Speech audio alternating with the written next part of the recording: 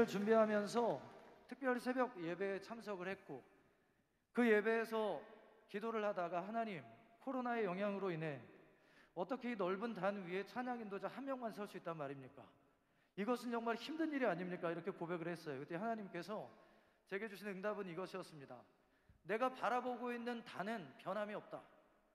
1600명의 예배자들과 온라인을 통해 2500명이 넘는 예배자들 그들이 서 있는 곳이 내 단이라는 것을 네가 착각하고 있구나. 지금 하나님께서 주목하고 계신 단은 여기가 아니라 여기라는 것을 기억하시기 바랍니다. 그 사랑의 권능이 오늘 우리가 찬양할 때 임하십시오. 함께 찬양하겠습니다.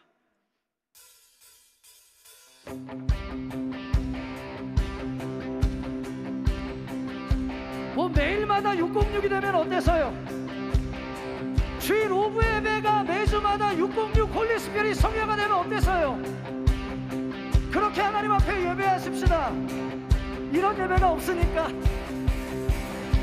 주의 사랑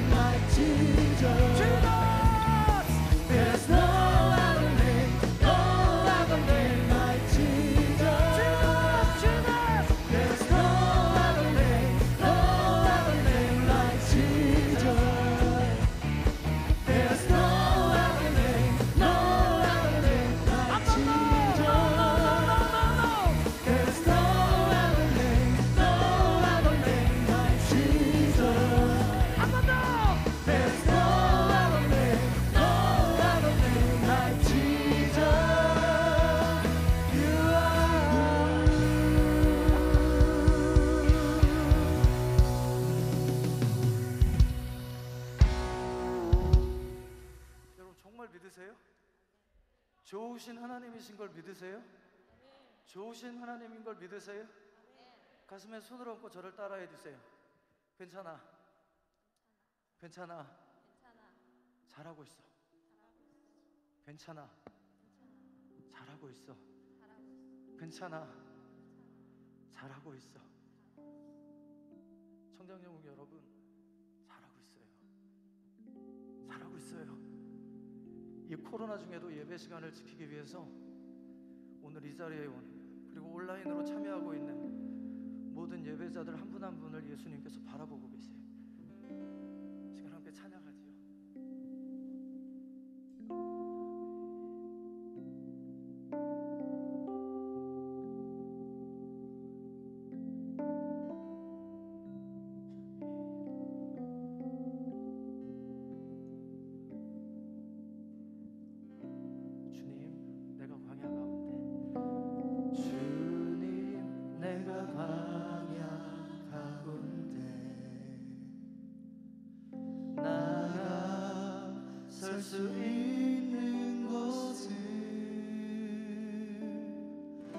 바로 그곳에 내주